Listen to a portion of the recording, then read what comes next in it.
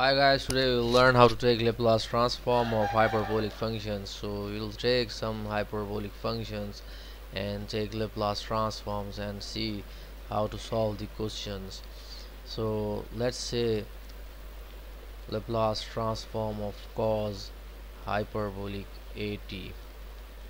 So this cos hyperbolic AT may be written as this therefore cos hyperbolic at may be written as e to the power at plus e to the power negative at divided by 2 now we will take Laplace transform of e to the power at plus e to the power negative at upon 2 which will be equal to Laplace transform of cos hyperbolic at because this function is equal to this. So now we will integrate from 0 to infinity and we will see that Laplace transform of cos hyperbolic at now this will be multiplied by e to the power negative st one should be very familiar with the by-part rule for solving Laplace transform questions. So now I can write this as 0 to infinity 1 upon 2 outside multiplied by e to the power at e to the power at multiplied by e to the power negative st this will be e to the power negative t multiplied by s minus a. And e to the power negative at multiplied by e to the power negative st this will be e to the power negative t multiplied by s plus a. Now when we will integrate this what we will get is 1 upon 2 multiplied by e to the power negative t multiplied by s minus a plus e to the power negative t multiplied by s plus a here is divided by s minus a and this is s plus a.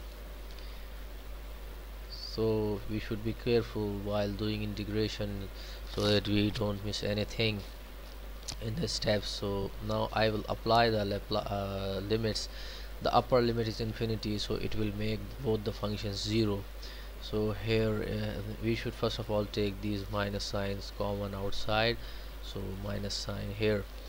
Now e to the power negative infinity should be 0 plus e to the power negative infinity again. Both of these will be 0 for upper limit e to the power negative infinity minus sign. Then e to the power 0 e to the power 0 is 1 over s minus a plus e to the power 0 is again 1 s plus a. Now this minus this minus and this minus become positive. This is 0 this is 0 so what we will left with it is uh, uh, we will take the LCM so we will get s plus a plus s minus a upon s minus a multiplied by s plus a.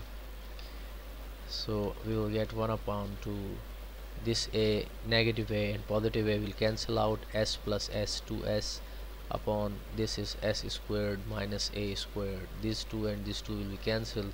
So left with s over s squared minus a squared. So we saw that Laplace transform of cos hyperbolic at is nothing but s over s squared minus a squared. So that's all for the time being and we will meet in the next video lecture soon inshallah. Goodbye